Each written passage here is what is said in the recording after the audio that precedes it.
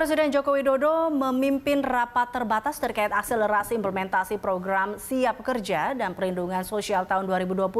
Jokowi menegaskan kartu prakerja tidak dikhususkan untuk pengangguran.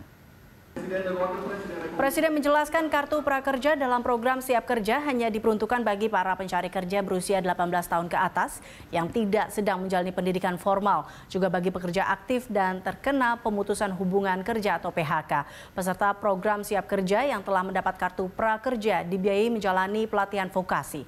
Melalui program Siap Kerja, fokus penggunaan kartu prakerja adalah mempersiapkan angkatan kerja yang terserap untuk bekerja atau berwirausaha usaha, serta meningkatkan keterampilan pekerja dan korban PHK melalui pengembangan dan peningkatan keterampilan agar semakin produktif dan berdaya saing. Bapak Ibu para Menteri siang hari ini ya.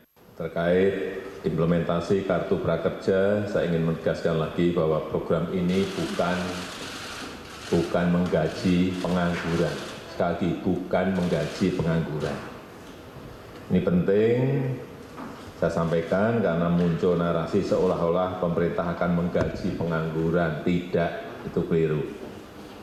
Jadi kartu prakerja merupakan bantuan biaya pelatihan vokasi untuk para pencari kerja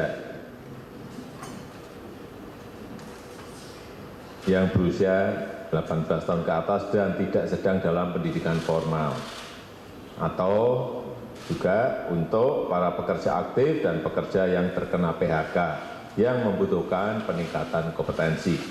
Jadi fokus pemerintah dalam kartu prakerja ada dua.